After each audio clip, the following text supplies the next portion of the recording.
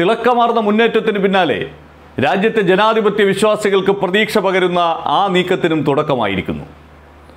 ധൃതി പിടിച്ച് ഇപ്പോഴില്ലെങ്കിലും ഇന്ത്യ സഖ്യത്തിന്റെ പ്രധാനമന്ത്രി ഈ രാജ്യത്ത് വൈകാതെ ഉണ്ടാകും എന്ന സൂചന നൽകുന്നതാണ് ഇപ്പോഴത്തെ സംഭവ വികാസങ്ങളൊക്കെയും.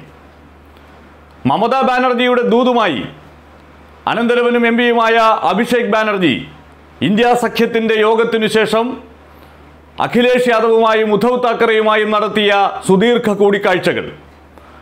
ആ നിലയിലേക്കു തന്നെയാണ് വിരൽ ചൂണ്ടുന്നത്. മമതാ ബാനർജി ഇന്ത്യ സഖ്യത്തിന്റെ പ്രധാന മുഖമായി മാറാൻ പോകുന്നു. ദേശീയ രാഷ്ട്രീയത്തിലേക്കുള്ള അവരുടെ വരവ് ഏതാണ്ട് ഉറപ്പിക്കപ്പെടുന്നു. മമതാ ബാനർജി ദേശീയ രാഷ്ട്രീയത്തിലേക്ക് വരാൻ തീരുമാനിച്ചാൽ ചന്ദ്രബാബു നായിഡുവും നിതീഷ് കുമാറും മാത്രമല്ല പശ്ചിമ ബംഗാളിൽ നിന്നുള്ള അഞ്ച് ബി ജെ പി എം പിമാരുടെ കാര്യവും ഇപ്പോൾ തന്നെ ഉറപ്പിക്കപ്പെട്ടിരിക്കുകയാണ് അവർ ഇന്ത്യ സഖ്യത്തിന്റെ ഭാഗമാകുമെന്നുള്ളത്.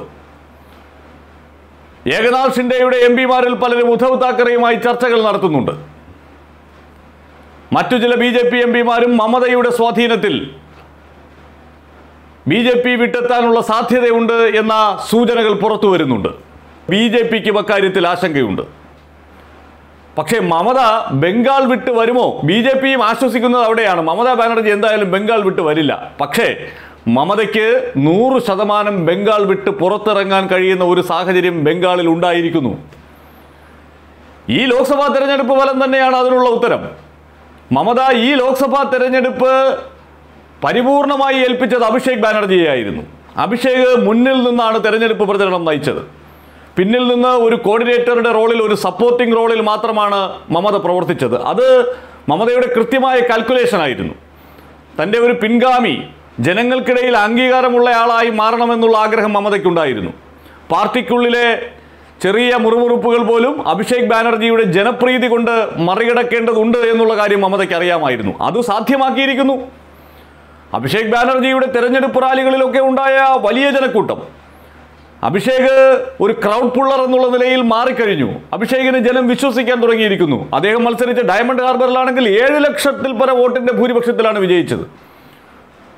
അപ്പോൾ ജനങ്ങൾക്കിടയിൽ സ്വീകാര്യതയുള്ള ഒരു നേതാവായി അഭിഷേക് ബാനർജിയെ മാറ്റിയെടുത്തു. തനിക്ക് ഒരു പിന്തുടർച്ചക്കാരനെ അവിടെ പ്രതിഷ്ഠിച്ചു കഴിഞ്ഞു.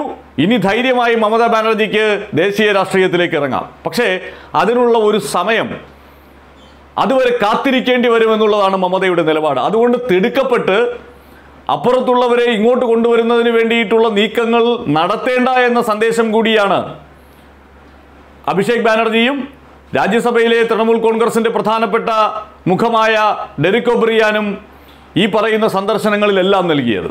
ഇപ്പോൾ ഉദ്ധവ് താക്കറെയുമായി നടത്തിയ കൂടിക്കാഴ്ച രണ്ട് മണിക്കൂറിലധികമാണ് ഉണ്ടായിരുന്നത്. അപ്പോൾ അത്രയും ഗൗരവത്തോടു കൂടി കാര്യങ്ങളെ സമീപിക്കുന്നുണ്ട് തൃണമൂൽ കോൺഗ്രസ് എന്നതാണ്.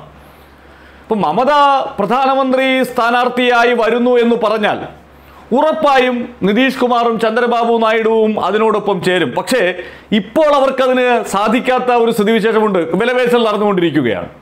ആ വിലപേശലൊക്കെ യാഥാർത്ഥ്യമായി ഒരു എൻ ഡി എ സർക്കാർ വന്നാലും സെക്യുലർ നിലപാടുകളുമായി പോകുന്ന ഇവർക്ക് കൂടുതൽ കാലം അവിടെ പിടിച്ചു നിൽക്കാൻ കഴിയില്ല എന്നത് തന്നെയാണ് ഇന്ത്യ സഖ്യത്തിന്റെ കണക്കുകൂട്ടൽ. മമതയും അത് കണക്കുകൂട്ടുന്നു. അപ്പോൾ ഒരു പ്രതിസന്ധി മറുവശത്ത് ഉടലെടുക്കുമ്പോൾ നായിഡുവും നിതീഷും അതൃപ്തി ഉണ്ടാകുന്ന ആ നിമിഷത്തിൽ അവരുടെ മുന്നിലേക്ക് വയ്ക്കാനുള്ള മുഖം മമതയുടേതായിരിക്കണം എന്ന സന്ദേശം തന്നെയാണ് അഭിഷേക് ബാനർജിയുടെ ഈ ദൂതിലൂടെ കൈമാറ്റം ചെയ്യപ്പെടുന്നത്.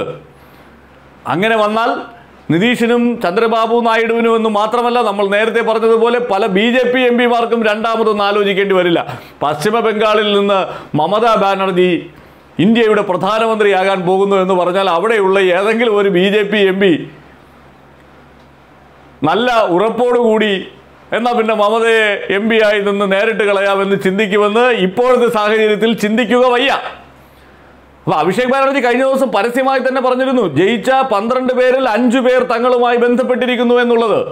അത് അസംഭവ്യമൊന്നുമല്ല. കാരണം ഈ തെരഞ്ഞെടുപ്പ് നടക്കുന്ന വേളയിലും ചില എം പിമാർ ബി ജെ പിയിൽ നിന്ന് തൃണമൂൽ കോൺഗ്രസിൽ ചേരുന്ന സാഹചര്യം അവിടെ ഉണ്ടായി.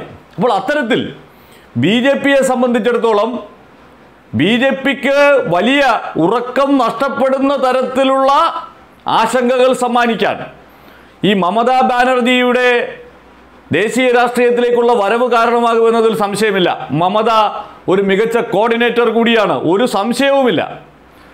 മമത വന്നാൽ ഈ ഘടകകക്ഷികളെയൊക്കെ ഒരുമിച്ച് നിർത്താൻ രാജ്യത്തിനൊരു വനിതാ പ്രധാനമന്ത്രി എന്ന് പറയുന്ന സന്ദേശം മുന്നോട്ട് വയ്ക്കുമ്പോൾ അതിനോട് അധികമാരും പുറംതിരിഞ്ഞു നിൽക്കാനുള്ള സാധ്യതയുമില്ല.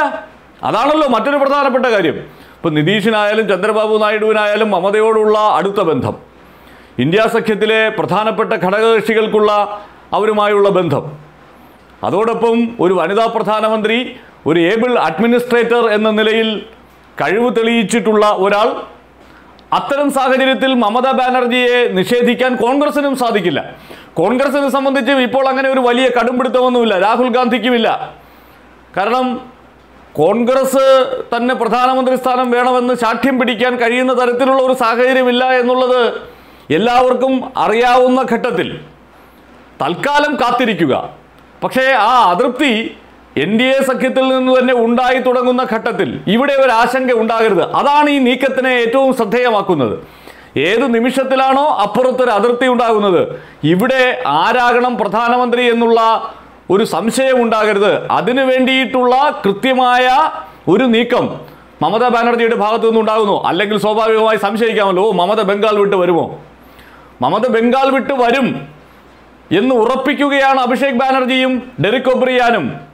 ഈ സുദീർഘ കൂടിക്കാഴ്ചകളിലൂടെ ചെയ്യുന്നത്. അതായത് ഇന്ത്യ സഖ്യം ഇപ്പോഴും പ്രതീക്ഷകൾ വയ്ക്കാവുന്ന തരത്തിൽ ചടുലമായ രാഷ്ട്രീയ നീക്കങ്ങൾക്ക് പലയിടങ്ങളിലായി നേതൃത്വം നൽകുന്നുണ്ട്. ആ നീക്കങ്ങൾ സഫലമാകും എന്ന് തന്നെ നമുക്ക് പ്രതീക്ഷിക്കാം. കാരണം നമ്മൾ പ്രതീക്ഷിച്ചതിനേക്കാൾ മനോഹരമായതാണല്ലോ ഈ തെരഞ്ഞെടുപ്പിൽ ജനങ്ങൾ നൽകിയത്. ജനങ്ങളുടെ മാൻഡേറ്റ് ക്രിസ്റ്റൽ ക്ലിയറാണ്.